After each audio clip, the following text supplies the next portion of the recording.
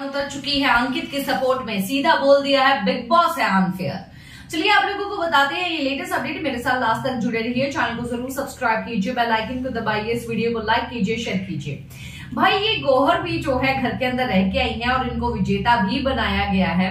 पर आप खुद सोचिए कि इनको खुद को पता होता है कि ये जो बिग बॉस है वो अनफेयर होते हैं, पर बाहर जाने के बाद और इसके बाद फिर से गौहर को बुलाया जाएगा, तभी गौहर जो है काफ़ी मीठी मीठी चिकनी चुपड़ी बातें तो बिग बॉस के साथ करेंगे क्योंकि इनके काम है, पर अपने पॉइंट ऑफ़ व्यू सामने रखती है, उसके बारे में मैं आप लोगों को बताती हूँ।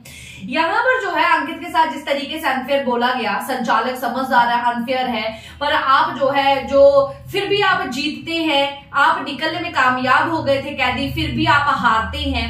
ये चीज़ें जिस तरीके की टोन मारी गई है अंकित के प्रति, ये बुरा लग चुका है गौहर को। जहाँ पर गौहर ने बोल दिया है कि भाई सो अनफेयर ये बात बिग बॉस बोल रही है अंकित को, ये चीज़ बोलते हुए कि समझदार संचालक है। बहुत ही समझदार संचालक है और इस वे में उसको टोंड मार रहे हैं। इससे पहले भी काफ़ी संचालक रहे हैं, जैसे कि निमृत, शिव, साजिद की टोली। जो भी जो भी वहाँ पर टास्क आए और वहाँ पर संचालक बने, सब संचालक अनफेयर थे। अब यही लोग अंकित को अनफेयर बोल रहे हैं। कितना ज़्यादा अनफेयर है बिग बॉस सही में गौहर ने बहुत ही सही बातें बोली हैं, बहुत ही प्यारी बातें बोली है और बहुत ही समझदारी की बातें बोली हैं।